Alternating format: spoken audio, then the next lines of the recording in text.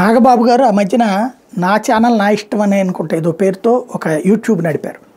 అంతా నా ఇష్టం పాట ఆయనకి బాగా సూట్ అవుతుంది. ఆయన నా ఇష్టం వచ్చినట్టు నేను ఉంటాను అన్నట్టు. ఆ తర్వాత అట్లాంటి శక్తివంతమైనటువంటి నాయకుడు రఘురామకృష్ణరాజు అంతా తన ఇష్టం వచ్చినట్టుగానే నడవాలని కోరుకున్నారు. ఆయనకి అనుకూలంగానే జరిగిన ప్రక్రియ. కానీ అంతా అయిపోయాక తన పరిస్థితి అయోమయంలో పడిపోయింది.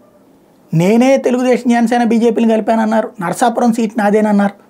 తీరా చూస్తే ఇప్పుడు కండవా కప్పుకోవాల్సిన అవసరం ఏంటంటూ నిలదీశారు. సీన్ కట్ చేస్తే ఇప్పుడు కండవా కప్పుకోక తప్పల. అట్లాగే నరసాపురం సీటు గురించి భారతీయ జనతా పార్టీ కాదు పొమ్మనమంటంతో విలవిల్లాడుతున్నారు.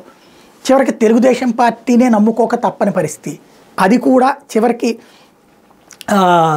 ఏది తెలుగుదేశం పార్టీ ఏదో ఒక సీటు ఉండి ఇస్తుందని మళ్ళీ అది కాదు పార్లమెంట్ సీట్ అని వీటి చుట్టూ తిరగాల్సి వస్తుంది. అంటే ఒకప్పుడు తను కూర్చుని కథ నడిపితే ఫోనుల్లో కథ నడిపితే ఇప్పుడు తను తిరిగి సెట్ చేసుకోవాల్సి వస్తుంది. ఓ పక్కన పవన్ కళ్యాణ్ దగ్గరికి వెళ్ళి మీ మద్దతు నాకు ఎక్కడ సీట్ ఇచ్చినా మీరు పోటీ ఇదే మీరు సహకరించాలి. అట్లాగే పవన్ కళ్యాణ్ ద్వారా చంద్రబాబుకి చెప్పించుకోవడం కోసమే నిన్న వెళ్ళారు. ఎందుకంటే ఉండి సీటు ఇస్తారని ఇంకా అనౌన్స్మెంట్ చేయలేదు.